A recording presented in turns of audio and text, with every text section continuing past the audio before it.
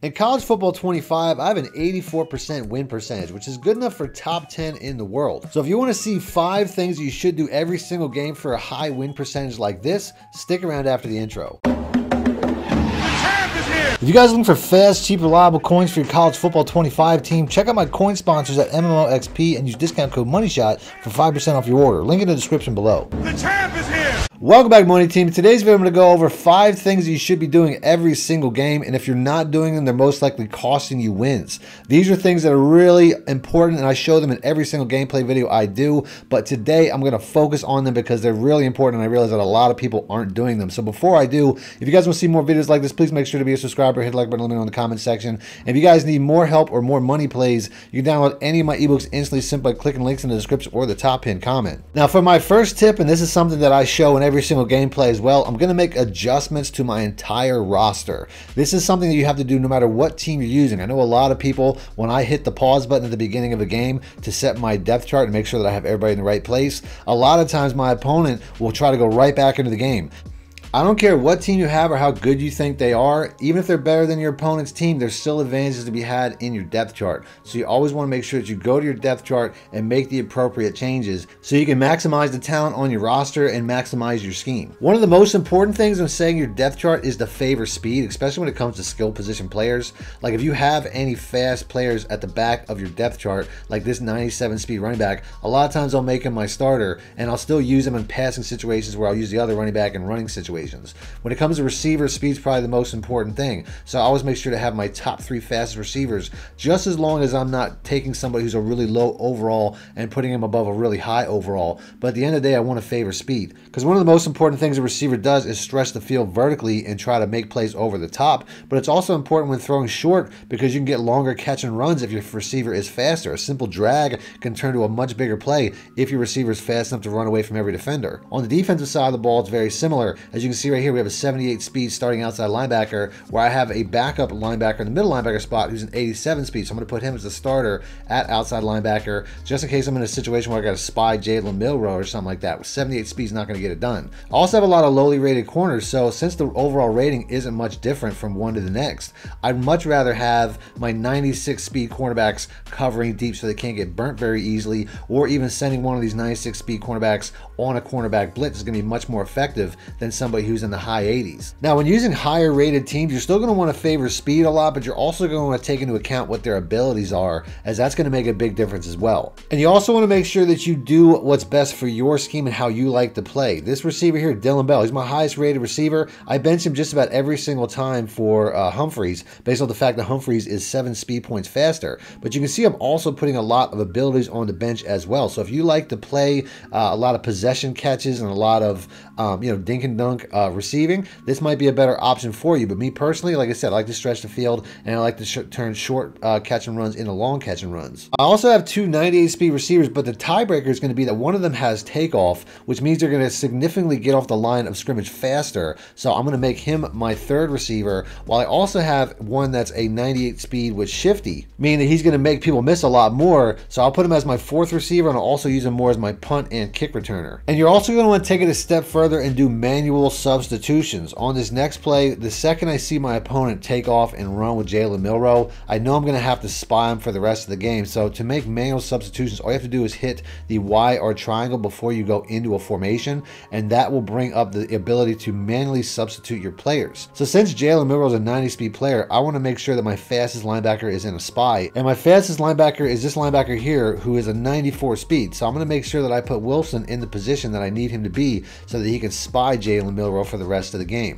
Even though this guy is a much higher rated overall player, he's still slower and he'll still get beat by Jalen Milroe if he decides to roll out. For context, though, if I didn't make any adjustments to my depth chart at all, the guy who would be spying Jalen Milroe the entire game would be this 78 speed outside linebacker named Chambliss, who I bench every single time. Can you imagine how much he'd be getting roasted by Jalen Milroe's 90 overall speed if I didn't replace him? Next up, I want to go over the importance of reading the defense every single play, but none of that's going to do you any good unless you do this first, and that's setting up your audible plays. A lot of people will just choose a play and run that play without getting the full benefit of running an entire offense by setting up your audible plays. To access your audible plays, when you go into a formation, just hit the left trigger or the L2 button before you select a play, and it'll bring up the option to change your audible plays to four plays. You get a total of five audible plays because the fifth play can be completely different from these, and EA just instituted something where you can save your audible plays from game to game. So even in a practice mode, you can go into your audible plays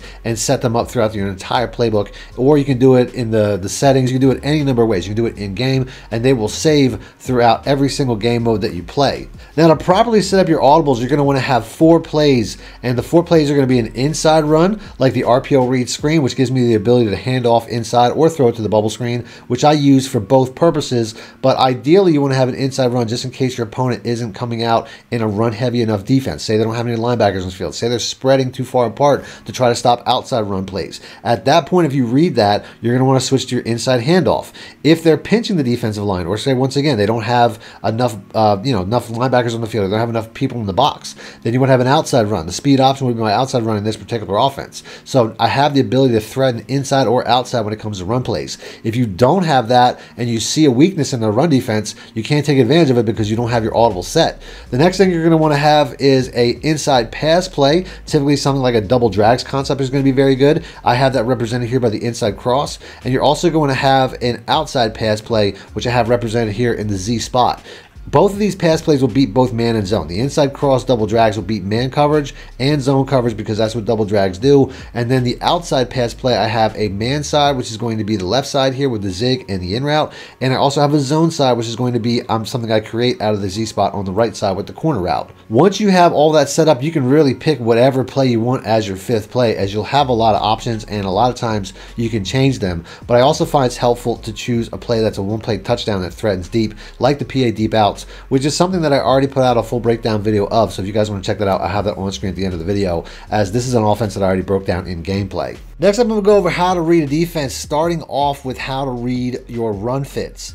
On offense, you always want to try to run the ball first, but you really need certain things to happen for that to be capable. On this play here, I'm going to do a box count. He's got six guys in the box, so I know that I really can't run up the middle since I only have five blockers. And he also has outside containment with his defensive ends being wider than my tackles, so I really can't run to the outside either until he shifts his defensive line in the direction of the most likely run, which would be an inside zone. And now his defensive end is covered up by my left tackle, so I can go to the speed option and run the ball knowing that I have the edge before the play even starts, which is a very easy read that you should make every single time. When it comes to passing though, you're going to want to try to read the entire defensive coverage so you can attack the weaknesses of that coverage. If you guys don't know how to do that, I'll show you guys in a very quick tutorial. This is very simple, starting with looking at the outside cornerback's starting drop depth away from the line of scrimmage. On this play here, you can see that this cornerback in front of the receiver is five yards off the line of scrimmage, which is indicative of a cover two zone. As you can see here, he's going to cover that area, so he wants to start off in that area.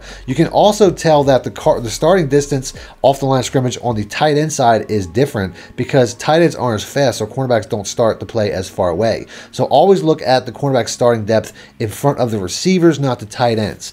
After that, we'll also switch over to cover three, and you'll notice that the cornerback's starting depth drops to about eight yards off. And once again, the cornerback in front of the tight end doesn't move at all. But you can see this is a cover three depth. Because they have to cover deep and they don't want anything to get behind them, they'll typically, they'll typically start about eight yards off the line of scrimmage. You also have cover four palms, which is going to be the same way. You'll have uh, the same eight yard depth of the cornerbacks. The only way to tell the difference between cover three and cover four is by looking at the safeties. You can see on the last play that when we were in cover three, that we had a single high safety, which which is pretty indicative of either cover one man or cover three. When it comes to cover four, you'll see that they both start at about the 10 to 12 yard mark. Typically, when they're offset like this, based on the fact that we have tight ends on the right side, you can see where the one safeties drop down a little bit more than the side that has the receivers. That's because this defense here, everybody's responsible for 10 yards uh, in the quarter section of the field that they're responsible for. So they're all going to want to be about a 10 yard depth. After that, if you get a, a, split coverage, which will be something like a cover three cloud, you'll notice that typically you'll have different starting depths of the cornerbacks naturally. And typically this outside cornerback here, which isn't moving because there's only tight ends over there, if there is a receiver on that side, since he's in a, uh, a cloud flat, he'll be five yards off the line of scrimmage, while the curl flat will be eight yards off the line of scrimmage. When it comes to man coverages, we'll have to switch over to another formation here. You'll notice if we start in cover three, we have that same look here where uh, we get the single high safety. But if I switch over to cover one man, which is also going to be a single high safety look, the only thing that really changes is the uh, the, the, the safety change his position and have a little bit more outside leverage on the tight end. So there's not a lot of the ways to tell the difference between cover three and cover one before the play starts. So that's going to be a scenario you're going to have to watch to see if the receivers or if the cornerbacks follow the receivers after the play starts or if they're just uh, dropping back into a zone. That's going to be the easiest way. When it comes to cover zero, though, this is going to be simple as you're going to see pretty much everybody is going to be, and we'll have to change this play. I think we're in the wrong formation, actually. We want to go over to uh, this one here. We'll choose the Mike Blitz Zero, and we'll see how everybody's going to be pretty much close to the line of scrimmage. There's no deep safeties. As you can see, this is one of the easiest ways to tell that it's a cover zero because there's no deep safety help. And last but not least, when it comes to cover two man, you'll notice that the cornerbacks are pressing because this is one of the few pressing coverages now, if you still need help reading defenses, you could always see what the last defense your opponent was in simply by hitting the right stick to the right from this screen here. And you can see how it shows the previous play that my opponent ran, as most people will run the same play over and over and over, or enough that you'll have a pretty good idea of what they're using. On defense, we want to do the exact same things. For audible plays, I find it's best to have at least one cover two, and that's because cover two is the best outside run defense because these cover two cornerbacks both have run fits. When it comes to inside run defense, one of the best plays to use is going to be cover four palms because this is the only defense where the safeties have run fits, meaning that the safeties will come down into the box and play the, the run like uh, linebackers as long as you don't guess pass. And cover four palms is the best one because I went over this in previous videos, how this is also the best RPO defense. So for run defense and RPO defense, these are probably two of the most important plays to have in your audibles. After that, you can really have whatever you want. I personally like to have a cover zero because I still find it's one of the better defenses to run commit from from time to time, as I find that if I know my opponent's going to run, stays close to the goal line or something like that, I'll switch over to cover zero and I'll run commit, and I feel like it has the least amount of penalty. It still has a penalty, but it has the least, the smallest. After that, I also find it's best to have a off uh, or a uh, offset coverage like a cover three cloud or a cover six, something that's just a, a little bit of a curveball to throw your opponent's way, so it's not just like a straight up cover two, cover three, cover four, because most people struggle with defenses like this. And then for my fifth and active play, I typically go with cover three match because I think this is the best defense. On offense, I said it's most important to try to run the ball first. So on defense, I'd say it's the exact same thing. You want to take away the run first. You always want to have outside leverage. So in this formation here, if I want to spread the defensive line, I can do that. And you can see how it does create some open uh, run lanes inside. But if I bring all these guys into the box, there's not really going to be any, any run lanes. You can see right here, my opponent even if he runs inside, we have three linebackers waiting for him. He's not going to get very far. As you can see, my, my opponent didn't get anywhere. The computer didn't get anywhere. So that's number one. You always want to set up your run defense so that you have outside leverage and you also have inside gap contain, which you can do from just about any single defense in the game. When it comes to pass defense, you really have no idea what your opponent is running,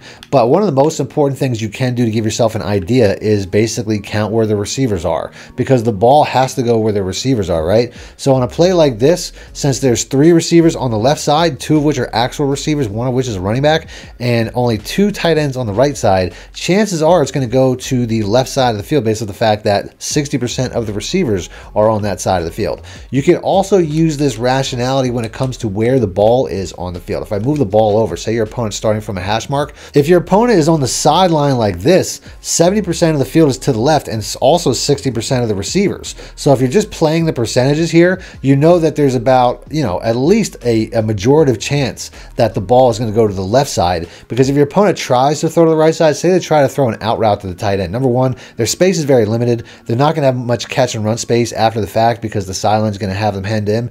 And the sideline is the best defender on the field field. The sideline basically makes every tackle, and it, it's also blankets and coverage. It never allows a catch. If your opponent goes out of bounds, they go out of bounds. So you want to use that sideline in this situation and pretty much know that the ball's going to go on the other side of the field, which is really the only indicators that you have as a defensive player, aside from down and distance and the scoreboard. If it's third and long, you know your opponent's going to go long. If it's uh, third and short, you know they're probably going to go short because it's more important to get that first down. So you do have indicators while you play on what your opponent's going to do. Like, say they're down two touchdowns in the fourth quarter, you know they're going to pass. If you know that they're up two touchdowns in the fourth quarter, you know they're going to run. You have plenty of indicators aside from knowing the actual play, and all these things can guarantee that you uh, play defense to the best of your ability. So I'm going to end the video there. If you guys want to see more videos like this, please make sure to be a subscriber, hit like button, let me know in the comment section. And if you want to see more about the offense that I was showing you guys earlier in the video, I'll have that popping up on screen. So click the links. And until next time, thanks for watching, man. Much it out. Need more help or just want to show your support? Then head over to my Patreon and join my team, where you can get exclusive content like ebooks and bonus plays, as well as early access to my vids and more. Link in the description below.